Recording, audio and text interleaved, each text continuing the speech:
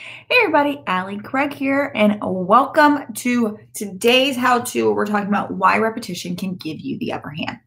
No matter if we're talking about the sales conversation, working with your customers, the truth is, though we feel re- repetition boring as all it can be, our audiences don't see it that way.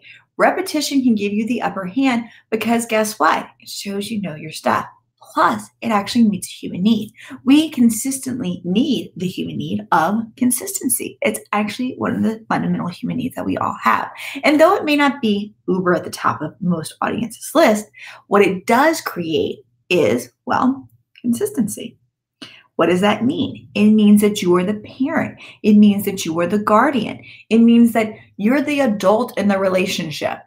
And when it comes to a brand relationship, that's a good thing because what do children do? Hopefully, listen to their parents, right?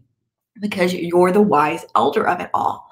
Also, repetition allows you to show that you really know your stuff, that you're not swayed by trends or fads or jumping off to the newest and latest and greatest thing, that you are the steady Eddie of it all. Because in the end, all going to come back to the beginning anyway. So make sure that you repeat your stance often.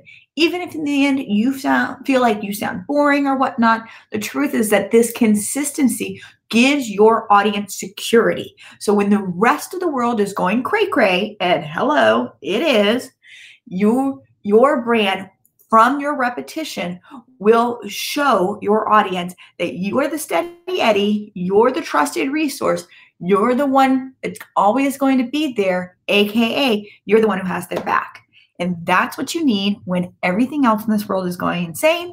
That's what your audience needs. And more importantly, that's just a fundamental, fundamental human need that we all need consistency.